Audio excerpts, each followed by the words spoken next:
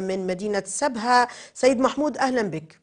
مرحبا أهلا وسهلا بكم. ما تعليقك حول الهجوم الذي شن على ال- الهلال النفطي من قبل هذه العصابات الإجرامية الإرهابية؟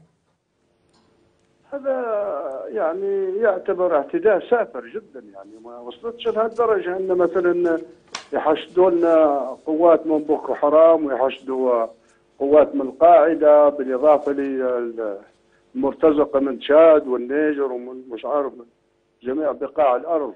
على أساس ان يهاجموا قوت الشعب الليبي ويهاجموا برقة. يعني مش معقول الكلام هذا في النهاية إذا لم يتحقق وطنية المعركة فاننا نضمن وطن. نعم. وشكرا. عندنا بيان أستاذ.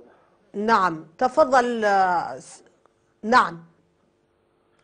بسم تفضل الله البيان لك الرحمن س- الرحيم. نعم. والصلاة والسلام على أشرف الأنبياء والمرسلين سيدنا محمد عليه أفضل الصلاة والسلام. بيان قبيلة الجواز العربية المناظرة في الوطن العربي الكبير.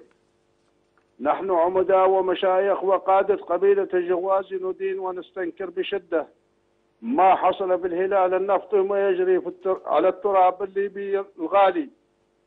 نحذر كل من اعت- اعتدى وساهم في العدوان على الهلال النفطي والذي يعتبر هو الحياة للليبيين حاضرا ومستقبلا.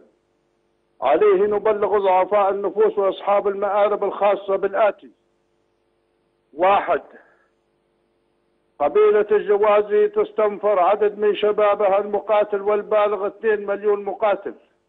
وتحت أمرة القيادة العامة للقوات المسلحة العربية الليبية لحماية الهلال النفطي والقيادة العامة وبرقة. اثنين قبيلة الجوازي كانت ولا زالت السباقة في ثورة الكرامة وأبنائها لا يزالون يقاتلون في كل المحاور.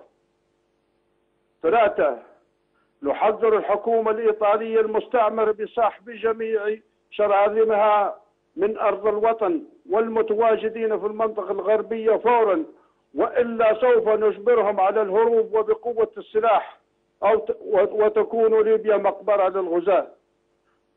ونذكرهم بأننا نحن أحفاد المجاهد حمد السعداوي ومسعود الطابوني وأبو شويبة وخالد القيصة.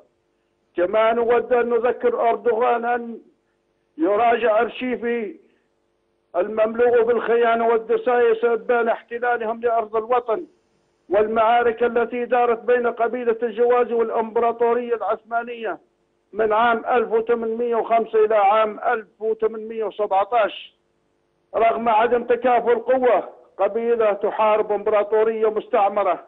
كما أذكر الأمريكان وقد تمت هزيمتهم وأسر البارجة الأمريكية فيلادلفيا. نطلب من جميع القبائل والتي أبناؤها متورطون في الاعتداء على الهلال النفطي وبرقة وتشريد وقتل الليبيين بسحبهم من هذه المعركة الخاسرة بالنسبة لهم. وإذ لم تتحقق وطنية المعركة فإننا لا نضمن وطن. والسلام عليكم ورحمة الله وبركاته.